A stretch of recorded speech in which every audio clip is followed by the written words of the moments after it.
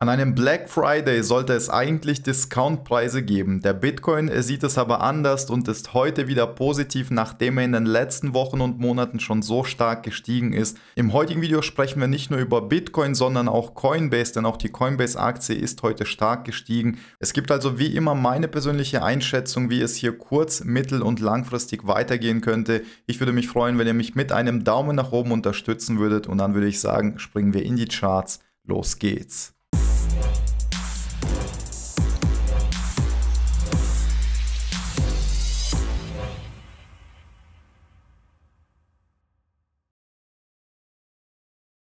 Bevor wir mit der heutigen Analyse loslegen, möchte ich mich an dieser Stelle bei euch ganz herzlich bedanken für 3000 Abonnenten. Wieder ein Tausender mehr. Danke für euren Support, für all die netten Kommentare unter den Videos, für die Daumen nach oben, die ihr unter jedem Video da lässt, um den Kanal und die Reichweite des Kanals zu pushen. Aber auch für die positive Rückmeldung bei uns in der Discord-Gruppe und vor allem auch den netten Umgang miteinander, denn nicht jeder ist gleich fortgeschritten, was das Thema Trading angeht. Wir haben natürlich Anfänger, aber auch Trader, die schon länger dabei sind und etwas mehr Erfahrung mitbringen. Dementsprechend hat der eine etwas mehr Erfolg, ein anderer etwas weniger, aber insgesamt passt das ja eigentlich ganz gut. Die Preisziele, die wir uns setzen, werden immer wieder getroffen, auch wenn zwischendurch mal ein Trade in die Hose geht, was im Trading aber natürlich ganz normal ist, denn es gibt keinen Trader, der keine Verlusttrades macht. Wichtig ist allerdings, dass man insgesamt profitabel bleibt. Und genau aus diesem Grund werde ich weiter Gas geben, um euch die bestmöglichen Trading-Setups zu liefern. Und hoffe natürlich, dass auch ihr weiterhin den Kanal genauso unterstützen werdet wie gehabt, damit wir weiter wachsen können. Sage also an dieser Stelle nochmal vielen, vielen Dank. Jetzt wird es aber Zeit, sich die Charts anzugucken und deswegen springen wir auf den ersten Chart und zwar den Chart der Coinbase-Aktie. Coinbase ist heute nämlich mit weiteren 6% im Plus und damit an einem sehr wichtigen Widerstand. Man erkennt es hier schon ziemlich schnell, das ist die Neckline, dieses übergeordneten bullischen Inverse Head and Shoulders Patterns. Ein Pattern, welches uns mittel- bis langfristig zu deutlich höheren Preisen führen könnte, also Preise von über 150 US-Dollar. Dafür muss die Aktie aber nachhaltig über die 116 US-Dollar drüber kommen. Was wir bei der heutigen Tageskerze sehen, ist natürlich genau das, was man auch von so einem Widerstand erwartet und zwar, dass es nicht so einfach ist, durch diesen Widerstand durchzukommen, muss jetzt nicht unbedingt bedeuten, dass Coinbase von hier aus stark abverkauft wird. Möglich ist es aber natürlich immer, wenn wir uns in solchen Widerständen befinden. Darum sollte man das auch auf jeden Fall auf dem Schirm haben, dass Coinbase genau von hier aus eine etwas größere Korrektur starten könnte, bevor sie eventuell mit einem nächsten Anlauf nochmal auf die 116 US-Dollar zulaufen würde. Aber es muss hier nicht zu einem Rücksetzer kommen, sondern kann jetzt auch auf direktem Wege durchbrochen werden. Da müsste man dann darauf achten, dass die Aktie sich wirklich nachhaltig über diesem Support befindet, also den Support bestätigen kann, nicht mehr unter ein Preislevel von ungefähr 108 US-Dollar fällt, dann könnten wir davon ausgehen, dass als nächstes Preisziele im Preisbereich der 150 US-Dollar angelaufen werden. Werden wir uns dann aber nochmal genauer anschauen, wenn es der Fall sein sollte, wenn wir jetzt über diese 116 US-Dollar drüber kommen sollten Kurzfristig würde ich, wie gesagt, auf jeden Fall aufpassen. Man darf jetzt auch nicht zu gierig werden. Klar, der Ausblick, über den wir gleich noch sprechen werden, bei Coinbase ist auf jeden Fall sehr positiv. Hier kann noch einiges gehen. Wer aber in diesen Preisbereichen eingestiegen ist mit uns in der Discord-Gruppe, zum Beispiel aus dieser ersten Kaufzone im Mai 2023, aktuell 140% im Plus, von der zweiten Kaufzone von der Mitte aus gemessen aktuell 43% und von unserer letzten Kaufzone aktuell 65 Prozent. Es sind also schon sehr gute Gewinne in kurzer Zeit, darum sage ich auch immer wieder, nie zu gierig werden, einfach auch mal Profite nehmen. Wenn wir über diesen Widerstand rüberkommen sollten und man bereits Profite genommen hat, spricht ja nichts dagegen, beim Retesten von diesem Support wieder neu einzusteigen, dann ist das Risiko einfach schon etwas geringer dadurch, wenn der Kurs jetzt hier drüber schießen würde und in diesem Retest etwas abkühlen würde, wäre die Wahrscheinlichkeit schon wieder größer, dass wir von hier aus nach oben bouncen. Hier genau im Widerstand zu kaufen, ist natürlich gar nicht empfehlenswert, denn wie bereits erwähnt, ist die Gefahr sehr groß, dass man von so einem Widerstand aus stark abverkauft wird. Wir haben natürlich auch noch die Gefahr eines Double Tops, je nachdem wie die heutige Tageskerze schließen wird, wobei ich Stand jetzt eher davon ausgehe, dass wir nach oben ausbrechen werden, also mit einer höheren Wahrscheinlichkeit davon ausgehe, dass Coinbase mit dem Aufwärtstrend fortfahren wird. Wir hatten im letzten Video zu Coinbase auch ein bärisches Szenario besprochen und zwar was passieren würde, wenn Coinbase bereits in diesen Preisbereichen drehen würde. Dafür gab es ja auch eine ziemlich hohe Wahrscheinlichkeit, wurde jetzt natürlich invalidiert. Also das bärische Szenario kommt hier erstmal nicht in Frage. Was wir beobachten müssen, ist in den kommenden Tagen, ob dieser Widerstand durchbrochen wird. Wenn wir über die 116 drüber kommen, würde ich als nächstes mal 150 US-Dollar anvisieren. Jetzt mal ganz grob. Natürlich wird es wie gewohnt von mir auch kurzfristige Preisziele geben bei uns in der Discord-Gruppe, damit ihr genau wisst, wo man Profite nehmen sollte oder wo man eventuell nachkaufen könnte. Das Preisziel aus diesem großen Head and Shoulders Pattern könnte in einem Preisbereich liegen, den wir gleich einmal ausmessen werden und zwar im Preisbereich der 190 US-Dollar. Ich persönlich würde hier sogar bis auf die 204 US-Dollar gehen, möglicherweise sogar 230.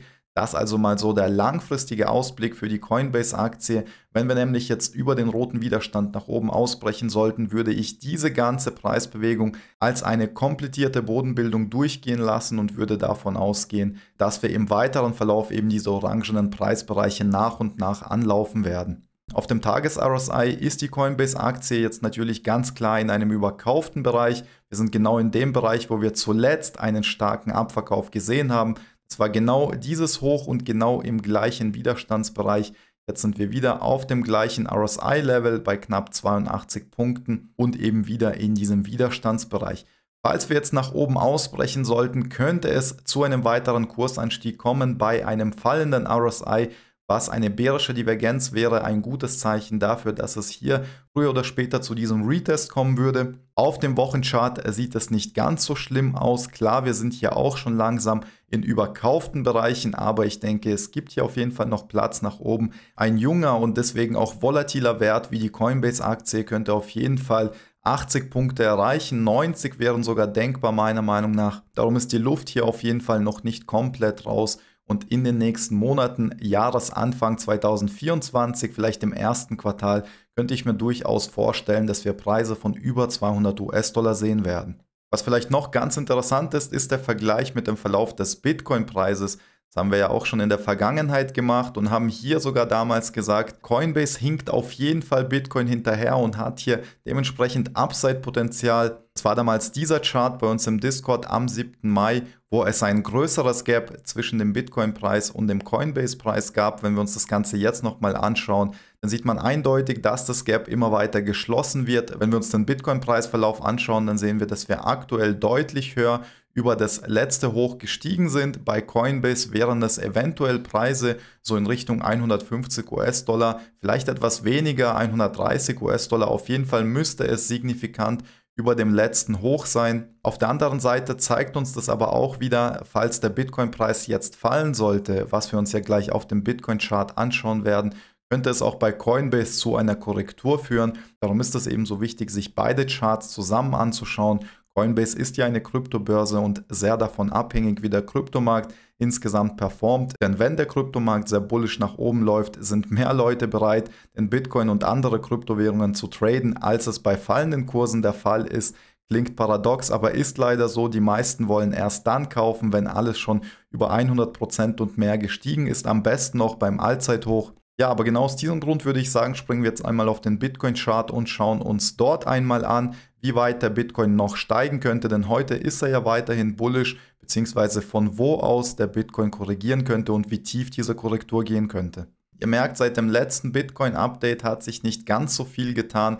Nachdem unser erstes bullisches Preisziel abgeholt wurde bei 37.600 US-Dollar, ist der Bitcoin weiterhin in einer Seitwärtsphase gewesen. Auf dem 4-Stunden-Chart erkennen wir hier aber weiterhin dieses bärische Pattern. Wir haben damals gesagt, von hier aus wird es mit einer höheren Wahrscheinlichkeit nach unten gehen zu einem Retest, um diesen alten Widerstand als Support zu bestätigen und haben sogar gesagt, dass das Ganze auch wünschenswert wäre, damit der Bitcoin nachhaltig weiter steigen kann und entsprechend sich einen Support unter den aktuellen Preisen aufbaut. Es ist hier also weiterhin das blaue Preislevel bei 32.600 US-Dollar relevant für diesen Retest.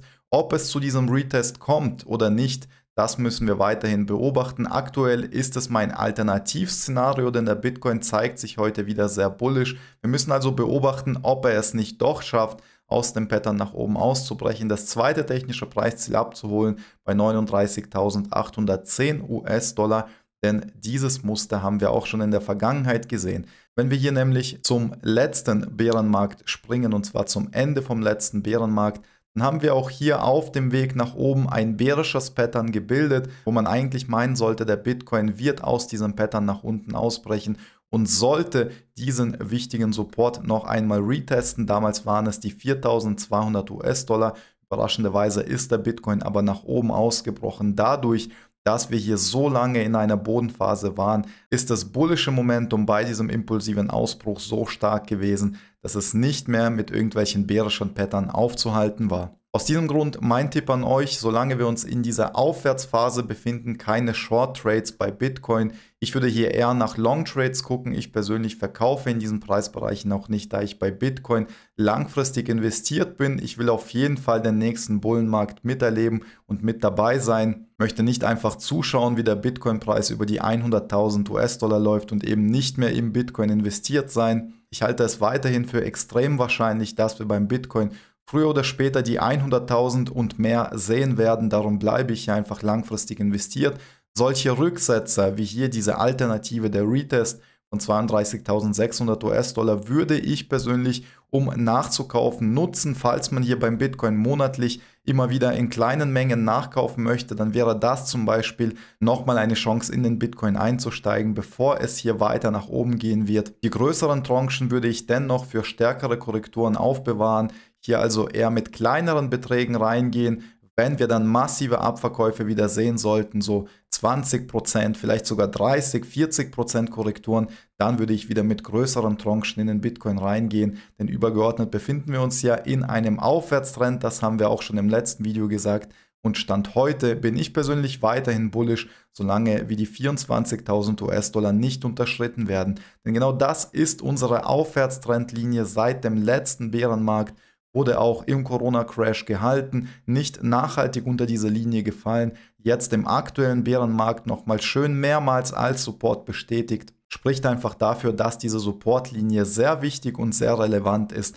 Falls wir also nochmal in die Preisbereiche Richtung 24.000 US-Dollar fallen sollten, würde ich auf jeden Fall nochmal Bitcoins nachkaufen. Bezogen auf Coinbase würde ein Ausbruch aus diesem bärischen Pattern nach unten natürlich bedeuten, dass es auch bei Coinbase eine Korrektur geben könnte und zwar mit einer hohen Wahrscheinlichkeit. Sollte dieser Ausbruch zum Beispiel jetzt über das Wochenende kommen, während sich Coinbase noch im Widerstandsbereich unter 116 US-Dollar aufhält, dann wird es sehr wahrscheinlich, dass wir von diesem Widerstandsbereich, wie am Anfang erklärt, erstmal einen Rücksetzer sehen werden, bevor der zweite Anlauf kommt wenn der Bitcoin in diesem Preisbereich wieder nach oben bouncen sollte. Sollte es allerdings erstmal nicht zu diesem Breakout nach unten kommen und der Bitcoin weiter nach oben ausbrechen über ein Preislevel von 39.000, 40.000 US-Dollar, dann wird auch Coinbase mit einer hohen Wahrscheinlichkeit den aktuellen Impuls weiter fortsetzen. Um euch vielleicht noch für den Bitcoin selbst einen mittel- bis langfristigen Ausblick in diesem Video zu geben, ich persönlich gehe ja weiterhin übergeordnet von steigenden Preisen aus, selbst wenn es hier kurzfristig zu einer Korrektur kommen sollte.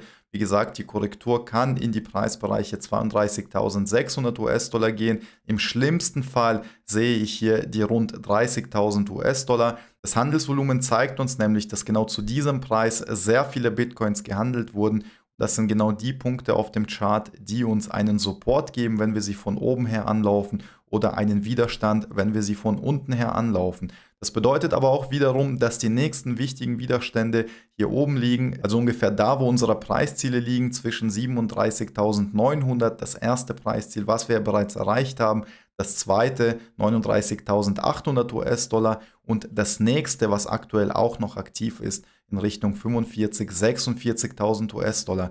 Sind auch hier in der Vergangenheit ein sehr wichtiger Widerstandspunkt im März 2022, bevor es hier zu einem massiven Crash von 63% gekommen ist. Das heißt, auch das wird definitiv ein wichtiger Widerstand sein im Preisbereich um die 47.000, 48.000 US-Dollar. Auch hier nochmal ein Hochpunkt auf dem seitlichen Volumen. Spätestens nachdem diese Preisziele erreicht wurden, gehe ich persönlich von einer stärkeren Korrektur aus. Und mit stärkerer Korrektur meine ich, wie bereits erwähnt, 20, 30, 40 Prozent von den 45.000 US-Dollar könnte es also durchaus nochmal in die Preisbereiche 30 bis 32.000 runtergehen. Das wären an dieser Stelle bereits 35 Prozent. Und das wären dann wieder Zeiten, wo der Bitcoin auf dem Tages-RSI wieder in einem überverkauften Bereich wäre, was historisch gesehen immer sehr gute Zeitpunkte waren, um langfristig in den Bitcoin einzusteigen. Das also mal die Lage bei Bitcoin und Coinbase aktuell. Schreibt mir sehr gerne in die Kommentare, ob ihr auch interessiert seid an einer Altcoin-Analyse. Da könnte ich gern mal Ethereum und vielleicht noch ein paar weitere interessante Altcoins mit reinnehmen. Bei uns im Discord traden wir natürlich noch viel mehr als nur den Bitcoin, also auch sehr viele Altcoins, die jetzt eben auch vor allem in den letzten Wochen und Monaten um teilweise über 100, 200 Prozent gestiegen sind. Zum Beispiel Solana, Chainlink, Kronos und eben wie gesagt viele weiteren. Das Ding ist nur, die Krypto-Videos in den letzten Wochen und Monaten sind nicht ganz so gut angekommen wie die Aktienvideos auf dem Kanal. Wenn du also interessiert bist an Kryptoanalysen, dann gib dem Video auf jeden Fall einen Daumen nach oben, damit ich weiß, dass hier Interesse da ist und nutze gerne die Kommentarfunktion, um mich auf deinen Lieblingscoin aufmerksam zu machen. Aber für dieses Video war es das erstmal. Ich hoffe, das Update zu Bitcoin und Coinbase hat dir gefallen. Ich wünsche dir einen guten Start ins Wochenende und sage bis zum nächsten Mal. Das war's von mir. Ciao, ciao.